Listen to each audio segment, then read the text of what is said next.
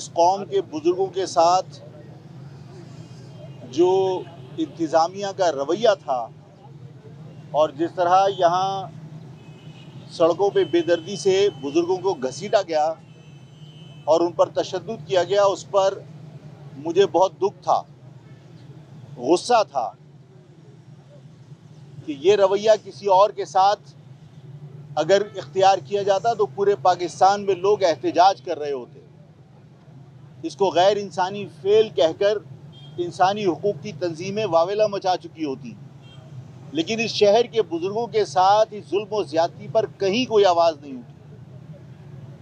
इस शहर के बुज़ुर्ग जब सड़कों पे घसीटे जा रहे थे, जो सोशल मीडिया पे क्लिप्स वायरल हुए, उस पर बे इंतहा मुझे दुख हुआ।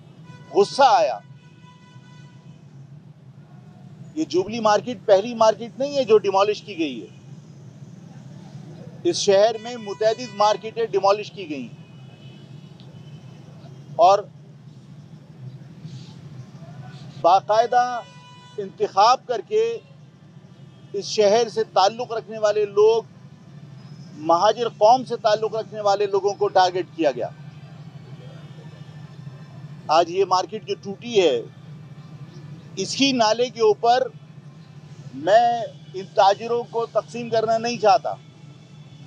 लेकिन ये ताजिर रोटी खाते हैं, ये अपनी ज़बान से इसका इकरार करें या न करें, लेकिन इनको इस बात का एहसास ज़रूर होगा कि ये दुकानें टूटने के बाद अगर कोई दुकानें बचेंगी तो वो उर्दू बोलने वालों की नहीं है और इसी नाले के ऊपर वो दुकानें कायम हैं।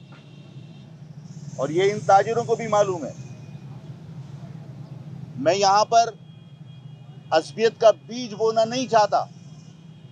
लेकिन ये ज़रूर चाहता हूँ कि इस कौम के नौजवान और इस कौम के ताजिर सबको ये समझ में आना चाहिए कि उनके साथ ये जुल्म ज़्यादती ये कोई सुप्रीम कोर्ट के ऑर्डर की बुनियाद पर नहीं हो रही।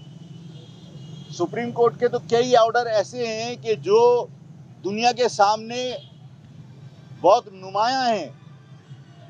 शायर फैसल को जो तंग किया गया था, उस पर ऑर्डर्स हैं। कई शादी हॉल्स जो एक मखसूस इदारे की सरपरस्ती में चलते हैं, उनके ऑर्डर्स हैं। बहुत सारे ऑर्डर्स ऐसे हैं कि जहाँ सुप्रीम कोर्ट मुतद बार पूछ चुकी कि इस पर अमल दरामद क्यों नहीं हुआ। लेकिन इंतज़ामिया सुप्रीम कोर्ट के ऑर्डर्स को उस पर अमल दरामद नहीं करना चाहती। और जब किसी के साथ जुल्म करना होता है तो वो सुप्रीम कोर्ट के ऑर्डर्स को बुनियाद बनाकर ऐसा ही अमल करती है जैसे जुबली मार्केट के अंदर किया गया। कि इस पाकिस्तान का निज़ाम चलाने के लिए पाकिस्तान के इस कारोबार, सियासत को चलाने के लिए, ये हुकूमत चलाने के लिए ये कराची के ताजिर ही हैं जो वफाक को, वफाक के ख़जाने में और सूबाई ख़जाने में बेपनाह रकम जमा कराते हैं, जिसकी वजह से ये पाकिस्तान के और सूबाई हुकूमत के मामला चलते हैं।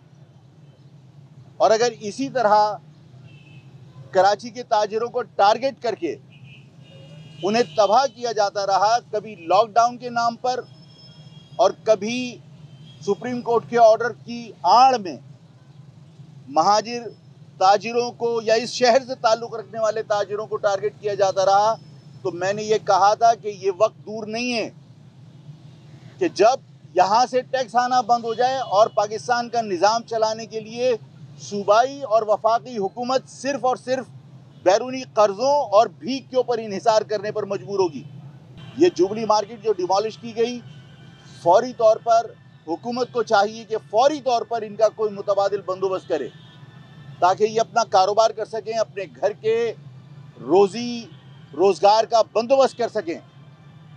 और अगर हुकूमत ये इकदाम करने की बजाय सर्द मोहरी का मुजाहरा करती है तो ये बात नौजवानों को भी और इन ताजिरों को भी समझ में आनी चाहिए कि तुम्हारे किसी दुख का मदावा हुकूमत नहीं करेगी बल्कि इन तमाम मजालिम का मुकाबला तुम्हें एक होकर करना पड़ेगा तो तुम अपने इन मजालिम से निजात हासिल कर सकते हम सबको ये समझ लेना चाहिए आज ये हुज्जत तमाम करने के लिए ताजिर बिरादरी के सामने, ताजिर बिरादरी ने भी मुतालबा किया और हुज्जत तमाम करने के लिए मैं भी रस्मन ये मुतालबा कर रहा हूँ कि जुबली मार्केट जो डिमोलिश की गई है, इसको मुतबादल मिलना चाहिए और फौरी तौर पर मिलना चाहिए। और अगर मुतबादल गवर्नमेंट नहीं देती एक मिनट एक मिनट अगर गवर्नमेंट, अगर अगर गवर्नमेंट मुतबादल फौरी तौर पर नहीं देती तो इन ताजिरों को भी और इन नौजवानों को भी